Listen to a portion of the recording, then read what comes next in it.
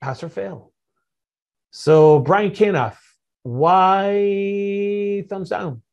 Um, it looks like the pipe at the bottom of the screen. It looks like there's not enough sand on the bottom side of that pipe.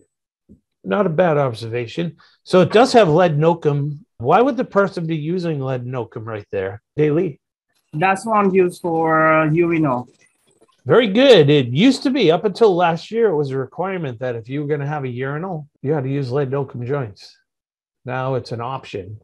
So all those joints of lead and oakum, and then we had a what we call a point of dilution, and we went to no hub pipe with our elastomeric sealing sleeves underground.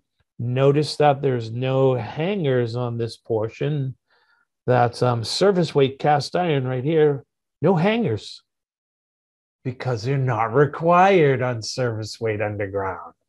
You're using no hub, um, and it's primarily because there's a couple things going on here. If you can guarantee 100% that the no hub piping has been placed on a trench bottom that's virgin, meaning it has never ever been disturbed in any shape or manner, then you don't have to put A bands with threaded rod and F&M plates that are going to be part of the concrete slab pour. But you know what?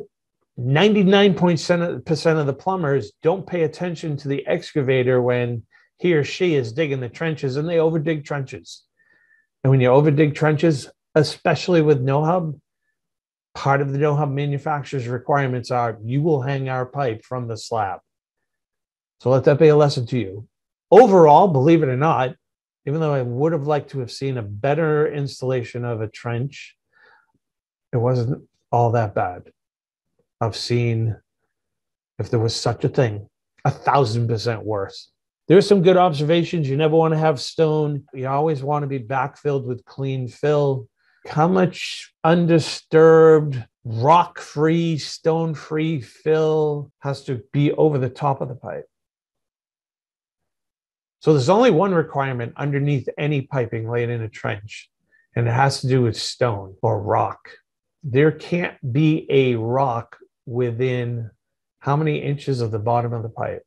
Matt Muse, rock under the pipe. Three inches. Three inches. All right. That's it for there. That was a pass.